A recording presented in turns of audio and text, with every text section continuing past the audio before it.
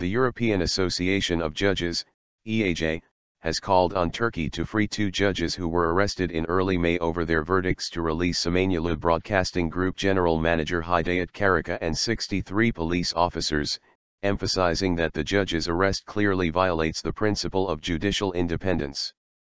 Discussing the arrest of Judge Mustafa Başer from the Istanbul 32nd Court of First Instance and Judge Metin Özçelik from the Istanbul 29th Court of First Instance during a meeting in Gdansk, Poland on Wednesday, the EAJ highlighted the importance of the independence of the judiciary.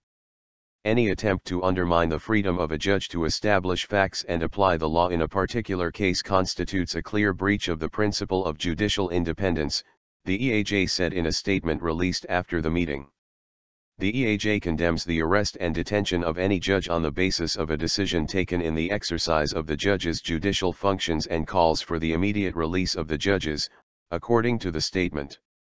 Judge Başer ruled on April 25 to release Karaca and the police officers after Judge Özçelik accepted a petition from Karaca's lawyers asking for a new judge.